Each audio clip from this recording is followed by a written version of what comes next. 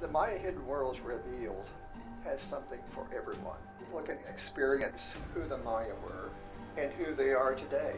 This is the most comprehensive exhibit on the ancient Maya that I've ever seen. It takes the viewer on a journey into a world of the ancient Maya, a world that is much different from our own. We see spectacular ruins they left and wonder who built them and why. This exhibit takes you into their culture, society, belief systems, writing, calendar systems, astronomy, and spiritual world. They left an incredible written record that scholars have largely deciphered. Knowing who the kings and queens were, who they married, who they fought, what they believed, and when they died gives insight and understanding to a degree rarely achieved from an ancient civilization.